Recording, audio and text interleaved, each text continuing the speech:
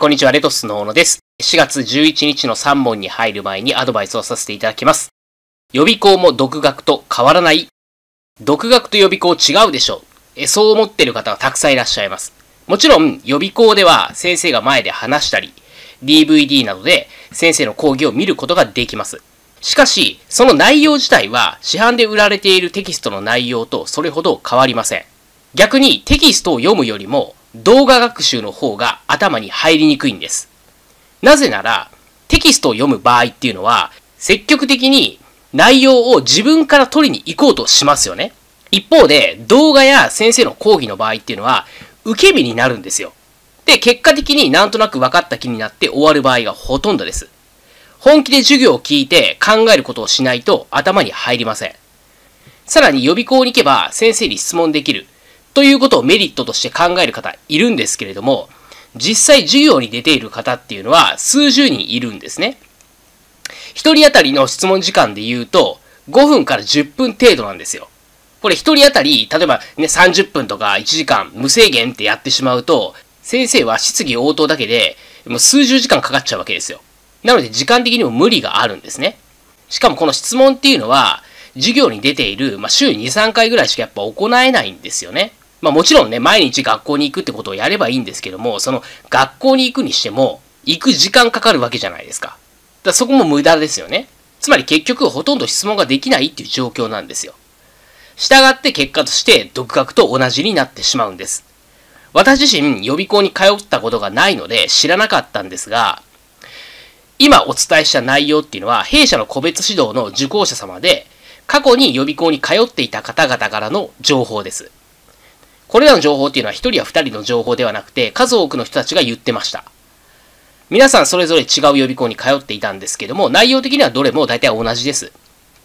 その点、弊社レトスの個別指導っていうのは、質問も無制限。しかも365日、24時間ご質問受け付けております。何度でもご質問いただけますので、多い方だと収録ペースで質問していただいております。それでも全然問題ございません。合格していただくことが私の目的なので、お気軽にいつでもご相談いただける体制になっております。もし今年合格を本当に望んでいるっていうのであれば、ぜひ私にお力添えさせてください。あなたの合格の一翼を担えたら私自身も嬉しいです。個別指導についてはこの動画の最後にお知らせいたしますので、ぜひご確認いただければと思います。それでは3問に入ります。A は B に100万円を貸した。そして AC 間で保証委託契約が結ばれた。時効期間の経過前に B が債務を承認した場合、B の時効は更新するが、保証人 C の時効は更新されない。丸か×かという問題です。え考えたい方は一旦動画ストップしていただいて、この動画の下の概要欄から問題文をご確認ください。えまず、A が B に100万円を貸したということなので、A が債権者、B が債務者ですね。で、AC 間で保証委託契約が結ばれたということなので、A は債権者に対して C は保証人と、まあ、いうことになります。で、債務者 B が承認をしたんですね。債務を承認した。つまり、え債務があることを認めたっていうことです。100万円借りてますよってことを認めたんですよね。で、認めることによって B の時効は更新する。一方 C の時効は更新されない。丸か×かという問題です。え答えはこれ×ですね。えどちらの時効も更新します。債務者が債務を承認すると、債務者だけじゃなくて、保証人の時効も更新するんですね。つまり、債務者 B も保証人 C も時効は更新します。まあ、だから×ですね。で、時効の更新って何かっていうと、時効期間がスタート地点0に戻って、1からスタートをし直すことを言うんですね。時効期間っていうのは刻一刻とこう過ぎていくわけですよ。時間がどんどん経過するんですけども、時効が更新することによって、一旦ゼロに戻って、まつまり初めの地点に戻って、そこからまた1日目、2日目、3日目って、時効期間がまたスタートし始めるということなんですよ。まあ昔の時効の中断と一緒ですね。意味としては。まあなんでここは覚えやすいんじゃないのかなと思います。で、今回債務者だけじゃなくて、保証人も時効が更新しています。で、これっていうのは保証債務に不自由性があるからなんですね。で、今回ちょっと保証債務のこの不自由性のところについては、ちょっと細かくは解説しないんですけども、この問題のポイントっていうのは、もう今話した内容だけなんですよ。保証債務に不自由性があることによって、債務者だけじゃなくて、保証人の事項も更新するんだっていう話なんですね。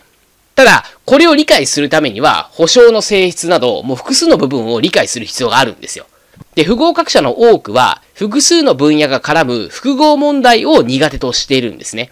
で、これを克服しない限り、合格は難しいです。で、こんな複合問題も個別指導では改正民法の基本から一歩ずつ教えていきますので、ご安心いただければと思います。で、問いにですね、えー、媒介業者、宅建業者 A は、媒介契約が成立するまでの間に、代金に関する融資の斡旋について、融資条件を重要事項として説明したが、その融資が成立しない時の措置について、飼い主に説明しなかった場合、宅建業法違反となる、丸か×かという問題です。で、答えは丸ですね。重要事項説明として、代金または交換先に関する貸借の斡旋内容だけではなく、斡旋が成立しなかった時の措置も説明しなければなりません。よって宅建業法違反となります。代金または交換先に関する貸借の斡旋内容。これどういうことかっていうと、お金を貸してくれる銀行の紹介などについての話なんですね。斡旋っていうのはまあ紹介っていうイメージですね。お金の貸借に関する斡旋なので、まあ、住宅ローン組む際の、まあ、銀行の紹介ですね。そういったイメージで大丈夫です。また、売買契約は締結したけれども、もしお金を借りられなかった場合どうなるのか、つまりローンの審査が下りなかったってことですね。そういった場合どうなるのかを重要事項として説明する必要があります。重要事項説明書の記載事項に関する問題は非常に細かい部分まで出題されます。なので、より多くの問題を解くことで頭に入れていきましょう。で、問い3ですね。農地法です。ゴルフ練習場の、えー、建設の量に供するために、市街化区域外の4ヘクタール以下の農地を取得しようとする場合、え都道府県知事の許可を受ける必要がある、丸か×かという問題です。で、答えは丸ですね。